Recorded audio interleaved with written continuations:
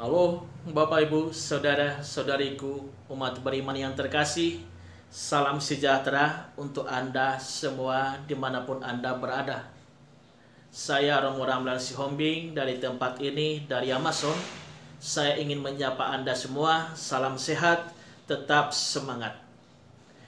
Bapak Ibu, Saudara, Saudariku, umat beriman yang terkasih. Baru-baru ini saya membaca sebuah berita di negara kita bahwa banyak orang terinfeksi coronavirus di tempat-tempat peribadatan. Saya juga membaca bahwa banyak orang yang berani berkata, "Saya tidak takut terhadap coronavirus, tetapi saya takut kepada Tuhan Allah."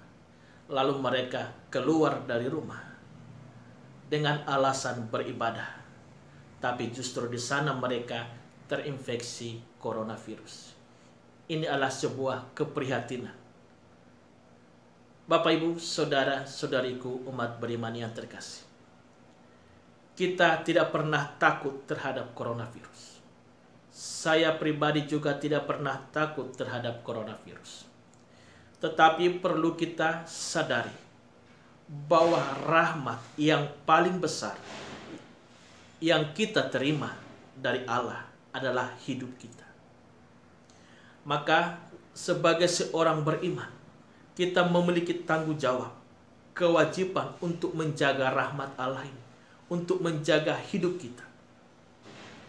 Karena dengan menjaga hidup kita, kita menunjukkan rasa syukur dan terima kasih kita kepada Allah.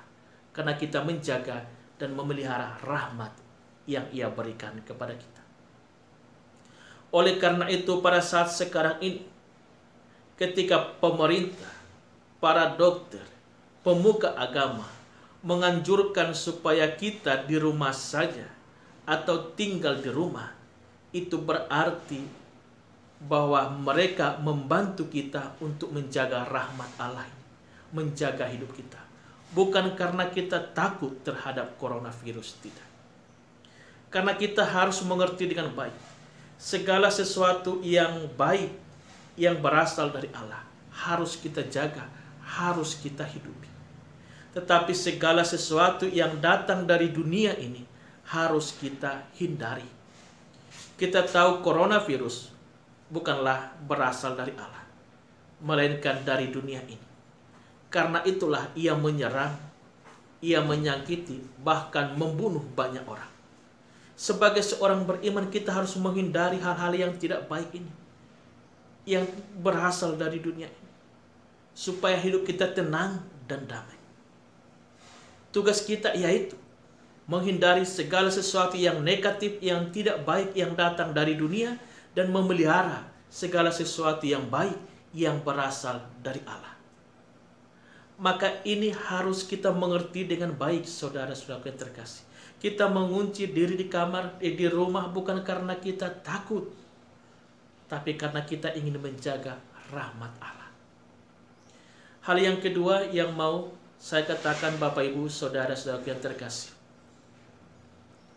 Sebagai seorang beriman, kita diminta untuk sungguh-sungguh menggunakan akal sehat kita. Jangan terlalu memikirkan diri sendiri, tetapi juga harus memikirkan banyak orang.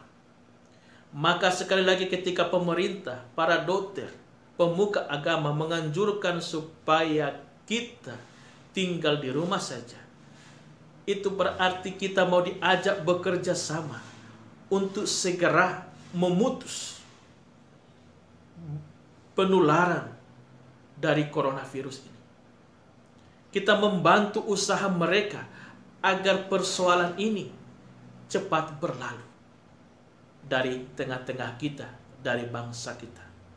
Maka mari saudara-saudariku umat beriman yang terkasih, berimanlah dengan rendah hati. Jangan beriman dengan sombong. Karena Tuhan memberikan kita akal sehat dan hati yang peka. Semoga amin.